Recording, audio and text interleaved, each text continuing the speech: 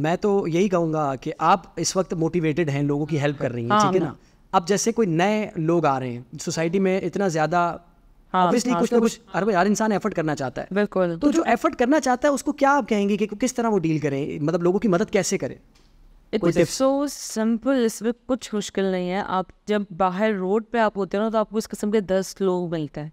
Mostly जो है ना खातन होती हैं जो मैंने देखा है रात के साढ़े बारह बजे। मेरे लिए तो वो बहुत लेट है ना। सभी के लिए अगर वो बस के इंतज़ार में है तो प्लीज़ हेल्प देम आप उनको किसी तरह से पैसे दे दें या कोई कन्वेंस जो होती है जो चलती है गाड़ियाँ पैसे लेती उनकी हेल्प करें आप। थोड़ी देर खड़े हो जाओ उनके साथ ताकि वो थोड़ी सी प्रोटेक्टेड फील करें गाड़ी आ जाए। यू नो तो वो चली जाए।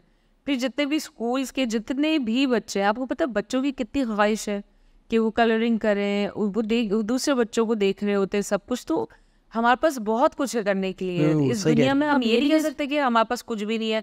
मुझे समझ नहीं आता वो कौन से लोग हैं जो कहते हैं पता नहीं हम बस पार ही बैठे हुए कुछ हो नहीं रहा शाम को सात बजे उठ रहे भाई क्यों यहाँ पे पूरी बाहर दुनिया जो अल्लाह ने बनाई है वो आपका वेट कर रही है आप उठे आप बाहर निकले वाई नॉट सही बात है बिल्कुल सही बात है बिल्कुल सही बात है।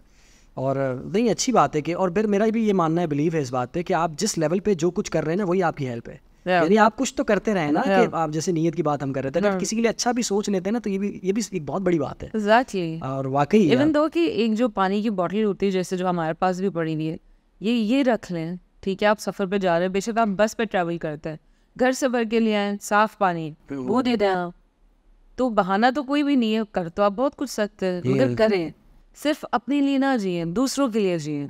वो अपने लिए तो जानवर भी जी लेते हैं। हाँ। अपने लिए जिए तभी तो इंसान कहलाएँगे हम। वही तो। तो जानवर माशाल्लाह इतने वो हो गए एक्टिव हो गए एक दूसरे की हेल्प करते हैं। मैंने कई वीडियोस देखी। हाँ हाँ वो भाई मैंने कहा इसको इतना सेंस कहाँ से आ गया भाई? वो हाथी वाला भी एक वीडियो मैंने देखा वो बच्चा खड़ा हुआ है कि मेरी माँ खड्डे में गाड़ियाँ रोक रहा है लेके जा रहा है। अकल का ताल्लुक जो है ना वो आ, किसी भी चीज़ से नहीं है। एग्जैक्टली किसी को भी आ सकती है वो चीज़ है ना बिल्कुल और वाकई जो जिस तरह का देखें हमने लाइफ का एक्सपीरियंस किया मैं तो शुक्रगुजार हूँ अल्लाह का कि अल्लाह ने हमें बहुत अच्छा बनाया अल्हम्दुलिल्लाह यार और आई एम ग्लैड कि अल्लाह ने हमें इस कामों के लिए चुना है। इतने ग्रेट कॉजेज़ के लिए अल्लाह ने हमें चुना है।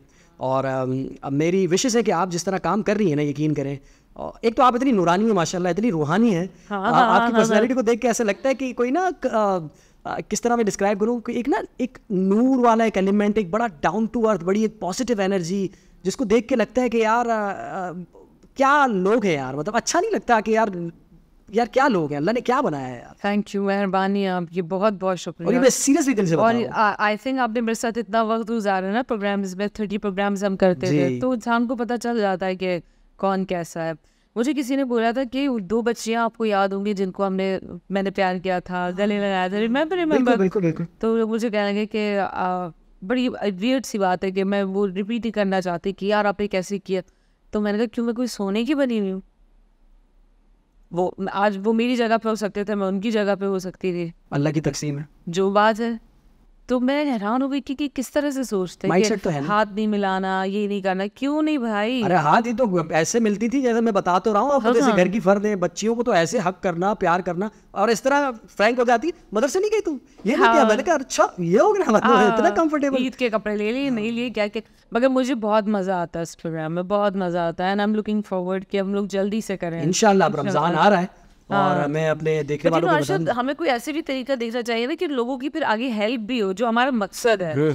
कि फिर ताकि लोग उसको कंटिन्यू करें। इस दफ़ा का प्लान हम जानदार यूट्यूब पे डालेंगे ना प्रोग्राम बिल्कुल, तो आप उनसे कहें कि हमें कोई ऐसा तरीका बताएँ कि जब हम वहाँ से शो करके आ जाए तो अगर उनकी हेल्प करनी हो तो फिर वो किस तरह करें? आप हमें ना दें। हम्म, क्योंकि बहुत बड़ी रिस्पॉन्सिबिलिटी है। सही बात है। आपके लिए वो कौन सा तरीका होना चाहिए कि आप डायरेक्टली उन तक पहुँचे ये मैं अपने व्यूवर से भी कहूँगा कि मशवरा मांगूँगा। मेरी बड़ी देखिए हम तो है क्रिएटिवली उसको डिसाइड करेंगे कि हमने किस तरह करना है लेकिन एक सजेशंस कहते हैं ना मशवरा लेना चाहिए। बिल्कुल लोग लोगों के पास बड़ा दिमाग है। हाँ हाँ। और बड़ी बातें वो जानते हैं तो माना कि सोशल मीडिया पे आधे लोग फारिग हैं लेकिन कुछ काम के भी हैं जो कुछ ना कुछ करते रहते हैं अच्छी एडवाइस देते हैं। मैं कहती जो फारिग है ना उनके भी आइडियाज़ आप कभी सुने तो आप क्या बात? हाँ वो कहते हैं ना आप क्या करते जी मैं फारिग हूँ और इतना बड़ा काम है। ये कैसे कर लेते हैं आप यार। कहते हैं बड़ा मुश्किल है, लेकिन क्या करें? वक्त है, हालात करना पड़ता है।